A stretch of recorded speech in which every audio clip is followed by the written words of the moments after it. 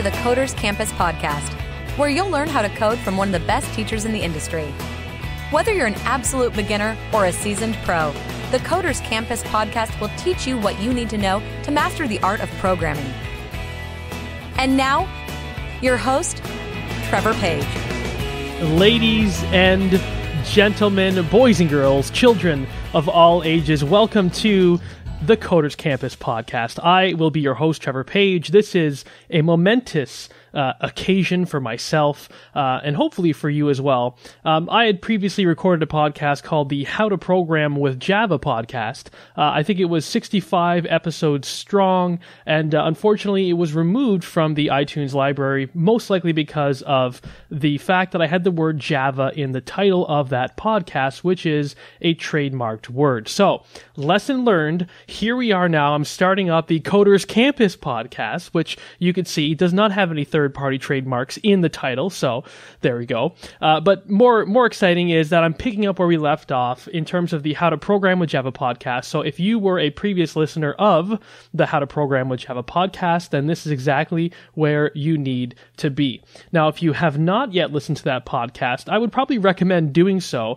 Uh, you can do so via my website. If you go to coderscampus.com forward slash podcast, you'll be able to see sort of all the back episodes um, of the old show. Uh, so you can sort of get up to uh, snuff or up to, you know, speed of where it is that we're picking up now. So, in the previous series, the How to Program with Java series, I taught you how to program with Java. Pretty straightforward stuff, right?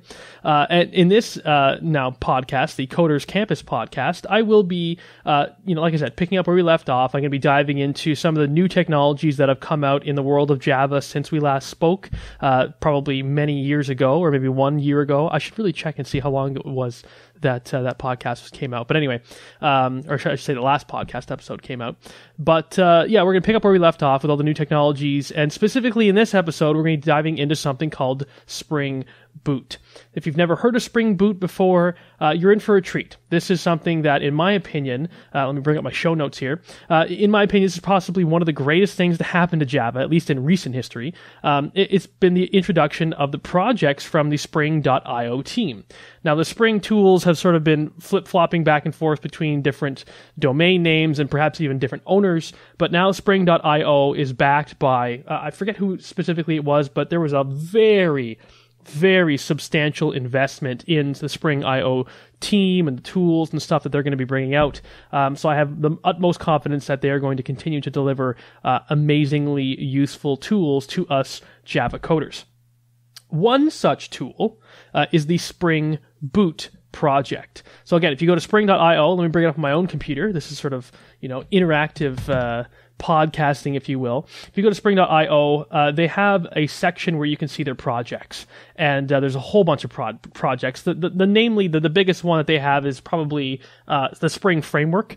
I've already touched on the Spring Framework in past episodes of the How to Program with Java podcast, but that doesn't mean that I'm going to disqualify it as a potential topic for the Coders Campus podcast, which is what you are now listening to. Uh, so I surely will be talking about that, I'm, I'm sure. Uh, but anyway, you, you look through, there's a whole bunch of different projects on here. On don't even know how many there are, maybe 20 or so. Um, but one of the ones, like I said, we're going to be talking about today is the Spring Boot application or project, whatever you want to refer to it as. And if I click on that project and sort of, you know, try to tell you what Spring Boot is in terms of their words, uh, they say that Spring Boot takes an opinionated view of building production ready Spring applications.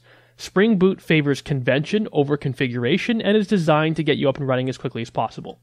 So that's sort of a convoluted way of saying, look, we're going to make your life easier as a Java programmer, specifically when you're starting a new application. So let's let's paint the picture of what life was like before Spring Boot hit the market. Um, and by market, I mean the free market, the open source market. Developers love free stuff, I know. So uh, before Spring Boot, you know, came to light, uh, creating a brand new web application, um, you know, starting up a new project would take hours of work. Hours of configuration, hours of rebooting the server, hours of Googling uh, silly little errors that are happening, you know, uh, exceptions being thrown, um, hours of tearing your eyeballs out just to get to a point where you can launch an application that will say, you know, hello world or something like that. So Spring Boot fixes this pain specifically. So the best way to think about Spring Boot is the the smart ladies and gentlemen on the Spring team have handpicked the most commonly used libraries and put them together in such a manner that they work out of the box with sensible default settings pre-configured for us. So that means that you can get up and running. You can create a brand new web app with, you know, JPA and MySQL database integration. Um, copy, you know, some properties over, and then boom, you're ready to rock. So um, I've timed myself before. I can create an entire web application with a controller that integrates with a database, a MySQL database, and performs create and read commands uh, to and from the database in five minutes. Up and running in five minutes. Okay, integrated with a, database, ready to rock five minutes. And really, the only code generation that happens is is more or less four lines of code um, in, in a, one little Java file that you'll never really ever look at um, again since the creation of that file. It's really sort of like the file that has your public uh, static void main class where you you know can run the the project from. Uh, but you really you never have to look at that class again. You could you can go and, and tweak it if you like, but I've never had to in my experience with Spring Boot. Um, so this is kind of like in contrast to something like Spring Roo, which I've taught before. Spring Roo, um, the days of Spring Roo were you know lots of heavy code generation and it would often you know create a whole bunch of uh, bloated code that you wouldn't really uh, know what the heck was going on with it and whatnot. Spring Boot is very very different for that. Okay, I'm talking dead simple, straightforward code, five minutes, done. Okay, it's a bit of a game changer in my opinion. Uh, it, we can since we can quickly create apps from scratch and potentially launch them via you know the cloud or something in like under an hour. Um, think about how much that would impress like a potential client. You could say, oh, you know, you can take their their idea, the idea they they want you to you know build an app for them or something like that, and then you can say, okay, well, you know, I think I have an idea of what that could look like. Let me see if I can put together an example for you, and in like two hours if you were really hustling, or maybe within the first day, the next day, let's say, um, you could send them a link to uh, an actual URL and they could visit it and be like, holy cow. Like, yeah, this is what I'm looking for. You know, very basic, maybe wireframed, no functionality built into it, but a basic uh, wireframe of the application live on the internet. All right. Um, usually the first day, like I said, first day would be uh, set aside to you know do all the stuff with configuring everything and so on and so forth, but that's not what you need to worry about anymore Spring Boot. You don't need to go through the hassle of creating a web XML file, an application's uh, context uh, XML file, uh, configuring your transaction manager, bringing in your your you know the proper data source um, beans and uh, setting up your uh, all the different you know uh, I can't even remember all the stuff in the web XML file and finding what the right um, I can't even remember anymore. It's been so long since I've done that now. You don't have to worry about that. It's all done for you. It's done for you with sensible defaults. Like they say, they, they say it's from, and it takes an opinionated view of building production ready Spring applications. What that means by opinionated view is that, you know, in, in the grand scheme of things, there are technologies that play together very nicely, very well, they they play well together and they make for very stable, production ready applications. So what Spring does is it takes those things and sort of gives them to you in a very easy to use and pre-configured manner using, like I said, sensible defaults. Um, so that you can just hit the ground running with your code and you don't have to worry about configuring the stupid stuff. Okay, like I said, Spring Boot favors convention over configuration. So there's there's they do the, the configuration for you. They take that burden out of your hands. Now, if you want to get in there, the nitty gritty, and configure yourself, then you can. You can go in there, you can override the defaults, you know, hopefully using Java config um, stuff. So, you know, you'd use a, a, create an actual Java class and do the configuration inside of a Java class instead of XML, because that's where the future is going, um, away from XML files and just, you know, sticking with plain old Java code. Um, but you can do that if you want. You have that uh, that ability to do that if you want, and uh, and it's lovely. Okay, I cannot sing its praises enough. So okay, you get it. Spring Boot is awesome. So the question you may have is, how do you use it? Well, good question. You have essentially two options.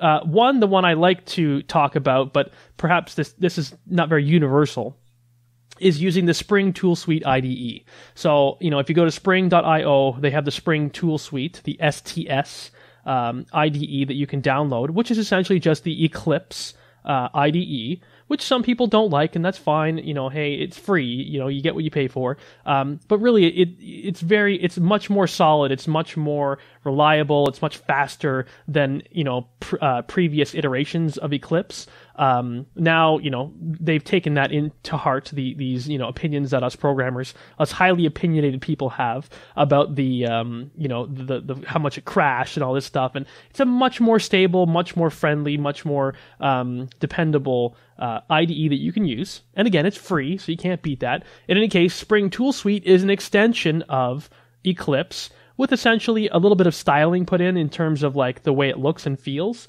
It has a bit more of a spring uh, branding to it, I guess you can say. And uh, it has the spring tool, uh, spring tools built into it automatically.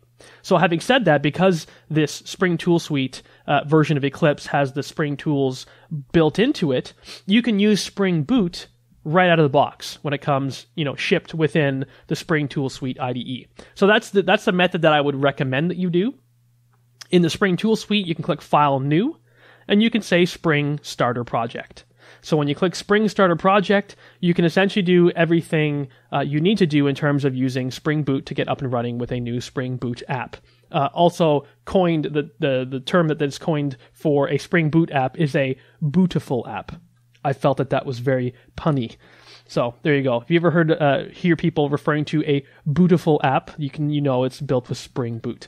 Um, cute people. Very cute. Anyway, uh, the second way that you can go about starting a Spring Boot app or a Bootiful app is by using the Spring Initializr uh, website, which is start.spring.io. Again, start, like the start button on your Windows machine or on the car of yours if you have a fancy car that has a push button start.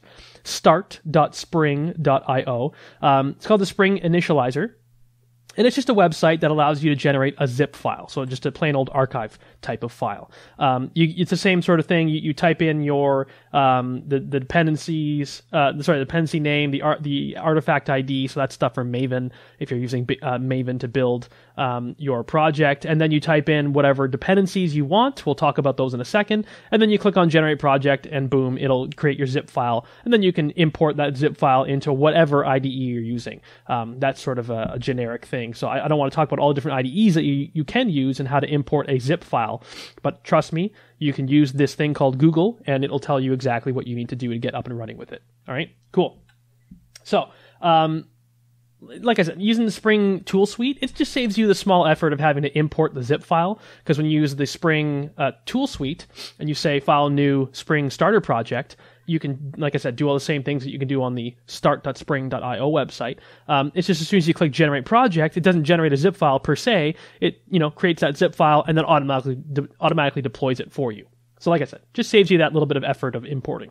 So when, uh, like I said, either way you, you choose to do it, you'll need to tell Spring Boot which dependencies you'd like to add to your project. So by dependencies, I mean that you need to tell Spring Boot if you'd like to, you know, include libraries to support um, the, the web application. So, um, for example, if you want to use a MySQL database, um, or if you want to be using Thymeleaf for a templating framework, uh, or you know those kinds of dependencies is what I'm talking about. So let, let me give you the example of my most commonly used libraries when I'm programming and creating my own web applications. You might have different ones. That's the beauty of this. These dependencies you can search for choose which ones you like and then go ahead and include them and spring boot will you know do it work its magic and and do everything uh, it needs to do to get you up and running super fast. Okay? So my most commonly used libraries are uh, in no particular order web Okay, so you type in web, and I, I select it, and um, for that, that includes you know all the Spring Framework stuff. So you know Spring Framework, the MVC uh, stuff, and all the libraries that you need to get up and running with a web application.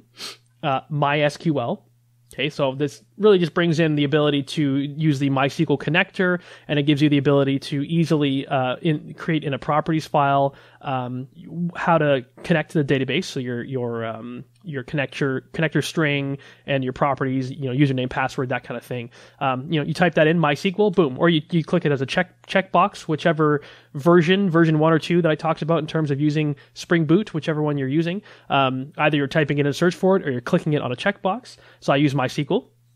But perhaps you want to use a you know PostgreSQL database or you know an Oracle um, or you know whatever whatever the case may be. You choose the one that you want to use and support. Great. I also choose JPA. Uh, JPA, which brings in Hibernate, because Hibernate is an implementation of JPA. JPA standing for Java Persistence Annotation.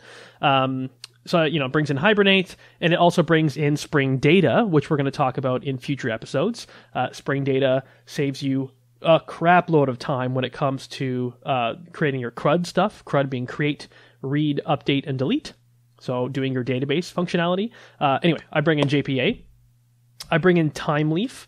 Uh, Thymeleaf is uh, something that we're also going to be talking about in future episodes of the Coders Campus podcast.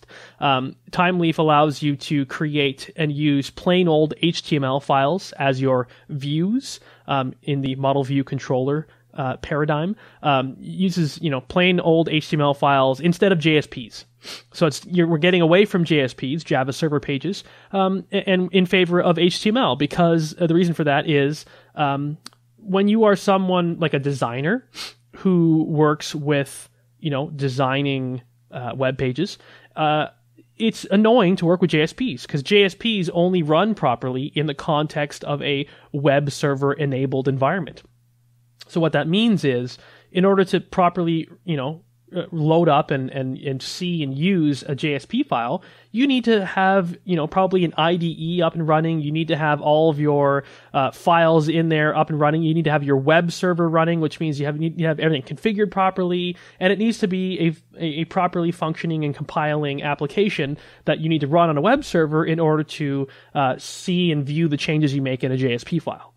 Okay. That is fine for coders, but that is not fine for someone who is just a designer. Okay. Designers don't want to have to use all that other stuff because that's not really their expertise. What they want to do is they just want to work in plain old HTML files, perhaps with Notepad or something like that. Not to you know speak ill of the designers out there because I myself think that that is a fantastic skill set that I absolutely do not possess. I'm not a designer. Um, I'm a sheer coder. I'm a code monkey. Um, so yeah, designers just want to use plain old HTML. That's it. HTML, CSS, plain text. Uh, you know, nothing fancy, no web servers, no nothing. Um, you know, you can run run your your application, quote unquote application, by double clicking on the index.html file and opening it up in your browser, and then clicking through everything. That's how a designer ideally wants to work, right?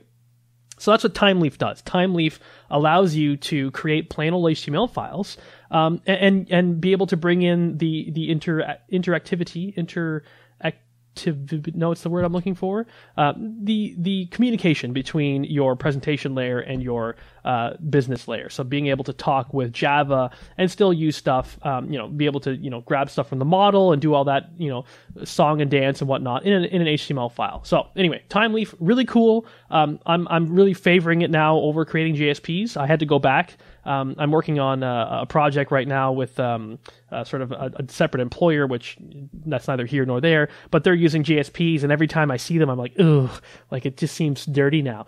Uh, but that might just be me with a little silver spoon up my butt with Thymeleaf. But hey, I like Thymeleaf, and we're going to talk about it. Really wasn't that hard to learn about. Maybe was up and running within you know two days of playing around with it, so not a huge learning curve uh, if you have a good head on your shoulders. Okay, sorry, that was a long rant to go back to what we were talking about was the most commonly used libraries with Spring Boot because that's what we're, we're, talking about is Spring Boot right now. Um, I named four, so the web, uh, MySQL, JPA, Thymeleaf, and Spring Security. Okay, Spring Security, great uh, platform. I've talked about it in the past. Hey, let's talk about it again in the future on this podcast. Uh, I look forward to doing that because uh, I love talking about programming stuff. So, uh, in, in, this particular uh, you know podcast episode, I'm really going to be focusing on the use of uh, the first four of those five dependencies. So the web, MySQL, JPA, and perhaps even Thymeleaf. Um, I'll, I'll, just give a you know a quick um, you know nitty gritty or not nitty gritty, a quick view on how you would use that in a typical Spring Boot application. So essentially that means in this podcast episode i'm going to try to make it in such a way that uh, we can create a web application built with the spring framework with mvc that's integrated with a mysql database and uses jpa specifically hibernate with spring data all brought together with Thymeleaf for our views like i said html files instead of jsps so in other words we're going to build a full stack web application with java using spring boot. We're going to build a bootiful app So, how the heck are we going to do this via audio? If this is your first time listening to the Coders Campus podcast, I do my very best. I realize that this is a very visual thing, um, but sometimes, you know, taking advantage of the time that you're, you know, walking the dog or at the gym or driving to and from work or doing the dishes or cleaning the house or heck, even in the shower if you have a good um, waterproof or water resistant speaker in the shower. Um, this is all time that you can use to sort of get the ball rolling with uh, programming stuff.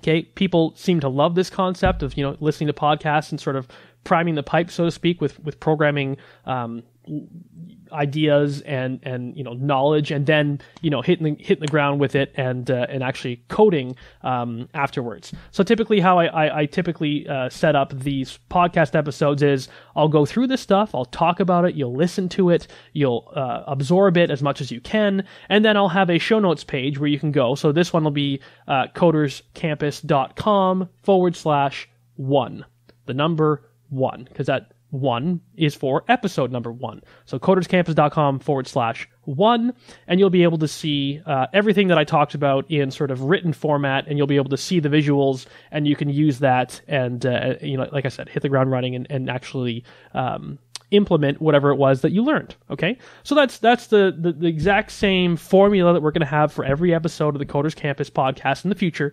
I'm going to teach you something. You're going to listen to it. You're going to learn it as best you can. You're going to go to the show notes page at coderscampus.com slash whatever the episode number is, and then you can grab it and um, and actually implement whatever it was we were talking about. Cool. So. Whew, having said that, let's actually get into the nitty gritty now. So the first step is to create your Spring Boot uh, project. I'm going to talk about doing the universal way because that way everyone is happy, um, which is very hard to do, making everyone happy. Uh, anyway, uh, so the first thing we're going to do is we're going to head over to start.spring.io. Uh, you're going to give your project on this screen uh, a, a, group name and an artifact name. Uh, so this is if you're generating a project with a with Maven. That's what I choose to use. But you can also use um, uh, what is it called? Let me go to the Spring start.spring.io website you can also generate with Gradle. Okay, uh, I believe when you d- use Gradle, you still need to give it a group name and an artifact name, just because that's how dependencies work in terms of creating your own dependency. But you give it a group name and an artifact name. Your group name is typically the um, the website in which the web application will be deployed. So uh, for me, I would you know deploy mine on on coderscampus.com. So therefore, my group name is com.coderscampus. So you just reverse the URL.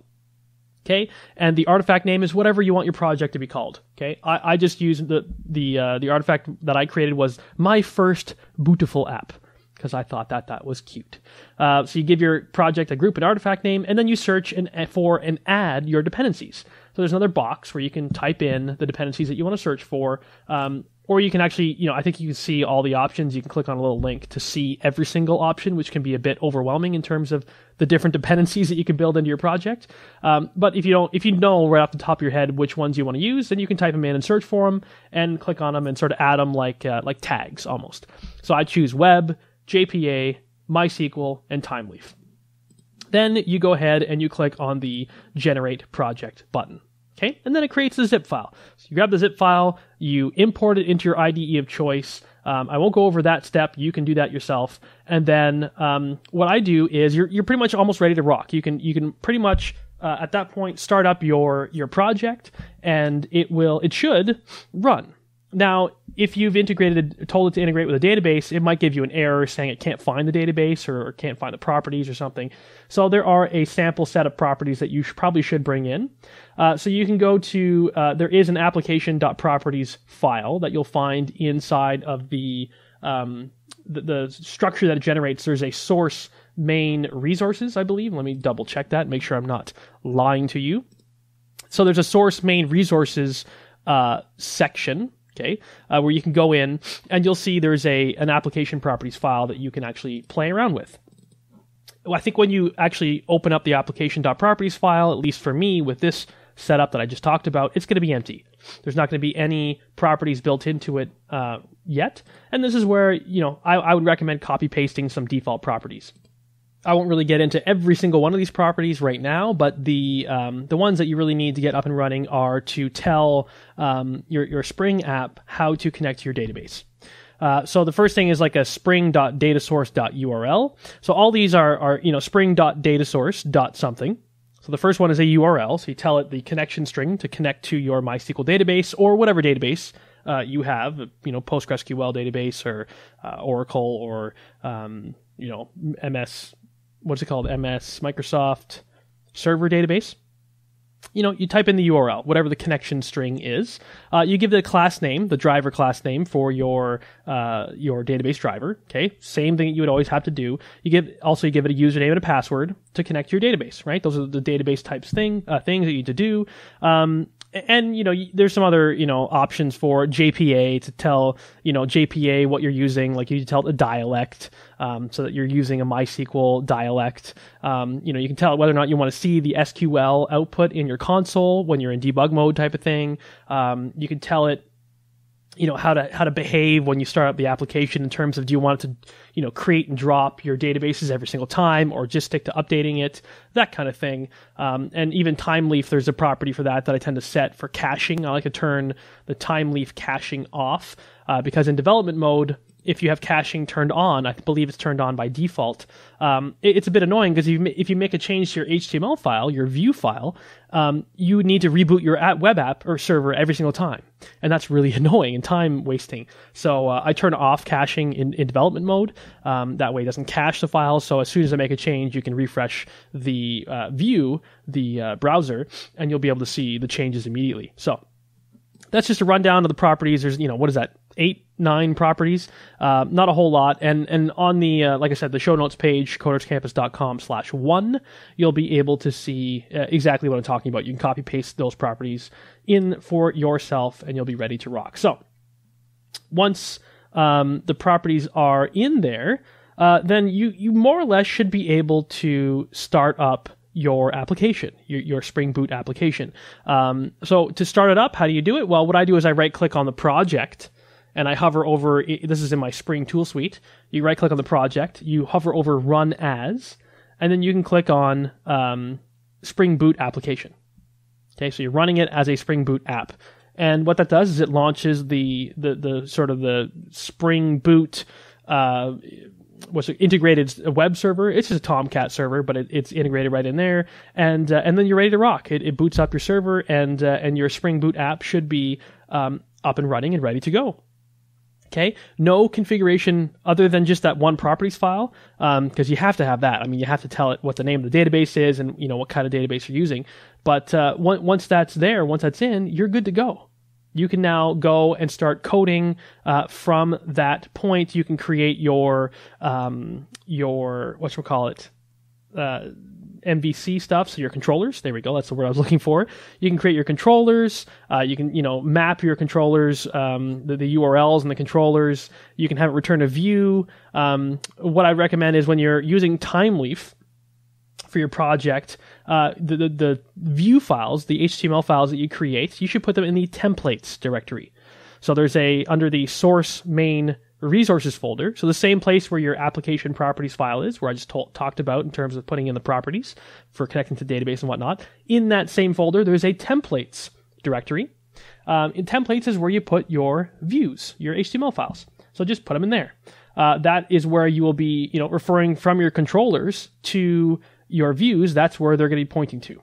Okay, by default, it'll point to the templates directory. So you put your HTML files in there, and then you can hook up your controllers to um, to that right away. You're you're good to rock. You're good to go. So you know if you want to create an index.html file, you put it in the templates folder, and then if you run the app and you have a controller that points to you know uh, index as the view, uh, then there you go. It'll it'll grab it and it'll spit out that page, and and you're good to go. Um, also, good to know. Uh, you know, tips and tricks here is when you're creating your JavaScript and CSS files, there's a static directory, a static folder inside of the same place, source main resources. Um, in your source main resources uh, directory, you can put, um, or sorry, source main resources static directory. In the static directory, you can put your JavaScript and CSS files. Okay, that's where it's going to look um, in that folder when you reference, uh, like if you want to import a JavaScript, an external JavaScript file um, into your, you know, into your HTML file. Um, that's where it's going to look for by default. So if you put, you know, JS slash, you know, my JavaScript file dot JS, it's going to look in the static folder. that's where it's going to look by default.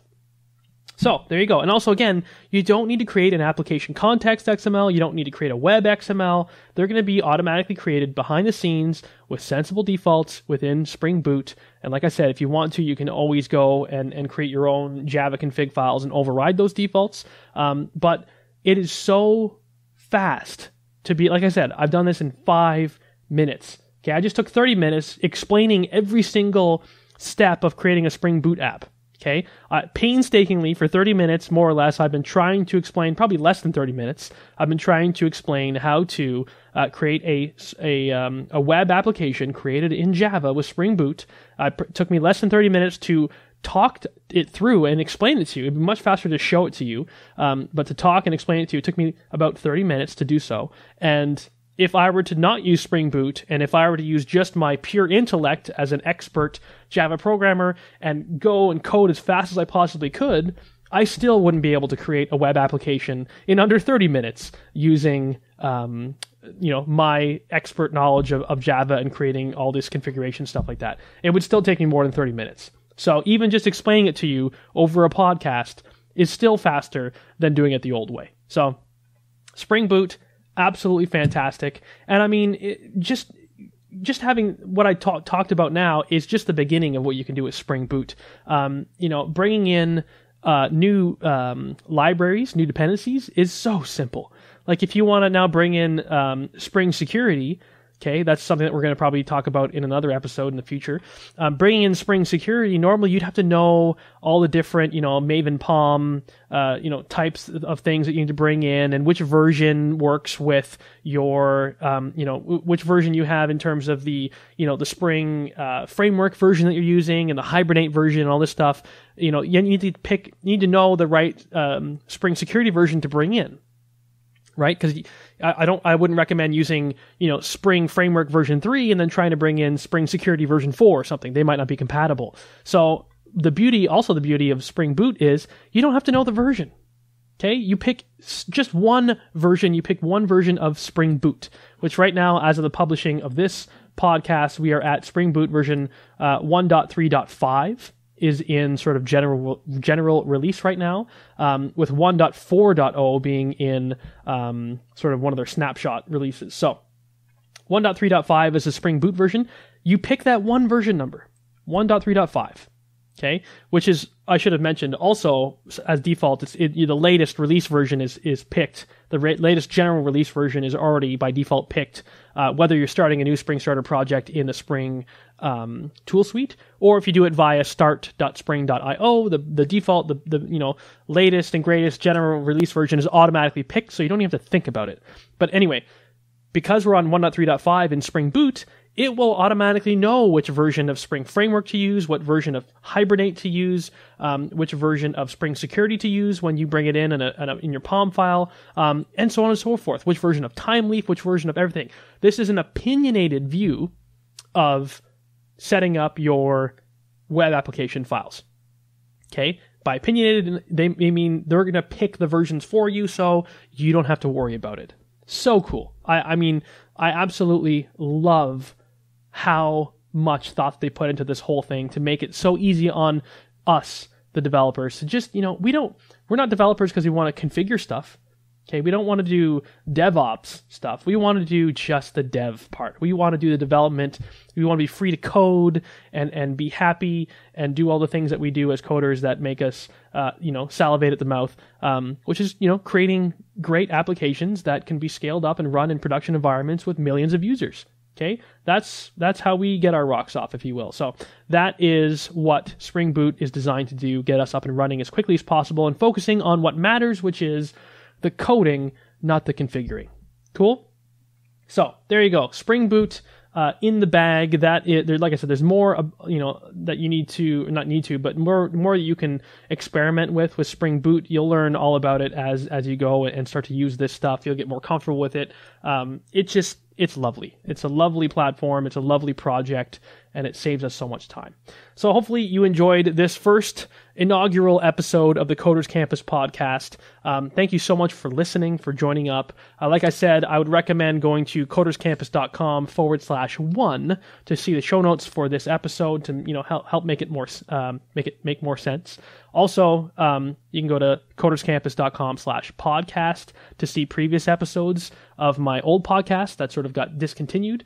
Um, but really, like I said, this is really episode number 66 or whatever it is of the How to Program with Java podcast. I just can't call it the How to Program with Java podcast due to trademark infringement. So, this is the Coders Campus Podcast, episode number one. Thank you for listening. Now, because I'm relaunching this podcast, and because you have been such an avid listener, listening all the way to the end of this episode, if you will, um, I would ask you to do me one uh, favor. I would really love for you to go and give this uh, show a rating and a review. If you haven't, um, you know, made up your mind yet as to whether or not you like this podcast, that's fine. That's cool. I can wait. I'm willing to, you know, put in the work and the effort to convert you over onto the good side. Um, but if you've made up your opinion and, and, you feel like this is a good podcast that's going to be helpful to you, um, or even if you were a past listener of the How to Program a Java podcast and you want to do me a solid, uh, please leave a rating and review for this podcast. Okay, so if there's really if there's one thing that you can do for me before you jump into the coding stuff to help me out and would help me out so much is to go to coderscampus.com slash review. So what you what you can do is I'm actually running a contest right now just to sort of help you out and, and to give you a little bit of uh, incentive to go and, and do this with me. Uh, it, it's like I said to go to coderscampus.com forward slash review, leave a rating and review. It can be honest. It doesn't have to be a five star. I'd obviously love it if it was a five star review. But what happens is the more five star reviews that are that are you know inputted into um, this you know uh, database of reviews for my show, um, the more people that you know iTunes will promote this podcast to. And the more people that it's promoted to and that listen to it, the more likelihood I have of actually creating more and more and more of these episodes on a regular, timely, you know, weekly or, or whatever the, the you know the uh, interval is hopefully weekly um, schedule right? I can get these out on a predictable schedule you know every thursday or every friday or every monday whatever the case may be um, it helps me to get those episodes out because I know there's an audience waiting to hear the episodes. Just like my How to Program in Java podcast, it, ended up being huge. It was it had so many listeners, and uh, and then I was you know heartbroken when it was taken off the iTunes uh, repository. So now I had to start from scratch, which is tough. But hey, I'm willing to do it for you guys. I'm willing to put in the effort. I'm willing to win you over. So please do go over to coderscampus.com forward slash review to review this show. Now, if you do do that take a, a snapshot of your rating and review. I'd recommend doing it before you submit it, but because uh, once you submit it, I think it, dis- it disappears for, I think they need to review the review, if you will. They need to make sure that there's no foul language or anything in it. So they sort of, they, they hold off on posting it to the, to the actual show notes page or the actual show page on iTunes for like a day or something like that. Anyway, I'd recommend taking a snapshot of it. So do a print screen on it, or use your Snagit app, or whatever it is that you use to take a screenshot. Um, grab that that screen of the review and email it to me. Okay, so that'll be your entry into a contest that I am running. Um, where I'm actually going to be giving away a $100 Amazon gift card. Okay, um, and I know I have an international audience, so um, I, am going to try my best to be able to whoever wins, whatever country you're in, I'm going to you know purchase a hundred dollar uh, or whatever the equivalent currency is uh, gift card for you uh, for your own country. That's the that's the length I'm willing to go to to win you guys over to to get you to leave a rating review for the show. Um, so yeah, that is going to be the, the, the grand prize, if you will. And I might even do other prizes. I haven't really put a whole lot of thought into it into, into what else I can give away. Maybe I can do a, a you know a giveaway of um, you know a free month or, or two of the uh, of my Coders Campus membership community. In fact, that's a really good idea. So maybe as a as a secondary prize, or maybe a you know for second and third prize, I'll give away free memberships to uh, Coders Campus, which is um, the place where you can go to uh, get full you know in depth um, uh, courses on all the different topics that relate to web application development. So they're taught by myself, yours truly, and they're full length videos, uh, well produced and whatnot. And um, and they teach you from you know zero essentially to hero. Uh, takes you through all the steps you need to learn to become a full fledged, uh, full stack web application programmer uh, with the Java programming language and and other technologies, right? Full stack, so JavaScript, HTML, um, you know, SQL, all, all the good stuff. Uh, Hibernate, Spring, Spring Security, etc., etc. Um, yeah, it's it's a great uh, it's a great course. I'll, I'll, give a couple of those away for free as well to um, the other people that I I uh, you know maybe the first, third, second, and third place winners as well. But grand prize hundred dollar gift card to Amazon. Uh, so then you can go and and spend that uh, on whatever it is that you like to your heart's content. Um, it, it, will be up to you. So yes, that will be up for grabs. That will be um, let me see. That'll be eight weeks from the time that I launched this this show. Um, and I'm actually, as of right now, I'm recording the show uh, somewhere around mid June. So hopefully, uh, I'm hoping I can actually release this show by let's say July 1st. That's that's the the I've arbitrarily picked that date in my mind right now. I would like to launch this on July 1st, so let's see if I can stick to it. Hopefully, this comes out on July 1st. If it doesn't, you can laugh at me. Um, I give you permission. So let's say eight weeks from July 1st is when I will do the drawing for the winner of this contest. So let's see, what's eight weeks after July 1st? Uh, so let's see, one, two, three, four, five, six, seven, eight. So it'll be August 26th is when I will do the drawing for um, this uh, prize. Like I said, the grand prize and the second and third place prizes. So if you leave a rating review, take a screenshot of it um, and email it to me. So right now, let's see, what's the best place you can email? Uh, for now, you can email at trevor at craftycodr.com. Uh, that's coder with no E, uh, because I'm I'm cool like that, I guess you can say. So if, if ever you type in an E when you're typing in crafty coder, you've done it wrong. So just remove the E. There should only be one E. Um, and then you have my email address, trevor at craftycodr.com com. Uh, email it to me with a screenshot and say, hey, I, have done it, so please enter me into this contest, and I will put your email address into the uh, the pool of email addresses um, for the this actual draw. So, like I said, even even if you just want to help me out, you don't care about the contest, um, just you know leave a rating review. That would be awesome, and I will stop talking about it now. So there we go. Uh, in the next episode, we're going to dive into something uh, arguably just as exciting as Spring Boot, uh, and that is Spring Data. Uh, I might even have two or three episodes on Spring Data because there's a lot of great stuff to talk about with respect to that topic. So um, stay tuned fellow coders for that beautiful episode or episodes on the topic of spring data, which is also something that's going to save you tons and tons of your precious time, um, valuable coding time. Uh, I absolutely love the stuff that Spring is doing with with the projects that they're putting out in terms of saving us time and effort and whatnot. Um, and that's you know you're going to learn more about that in the next episode. So I look forward to seeing you then. Until then, Take care of yourselves. Happy learning. And bye for now. I will hand it over to my trusty, uh, beautiful female outro voice who will bring you through exactly what I already talked about, which was um, how to leave a rating review on the show. So let's tip our hat to the lady who is about to follow me, and I will see you guys next time. Bye for now.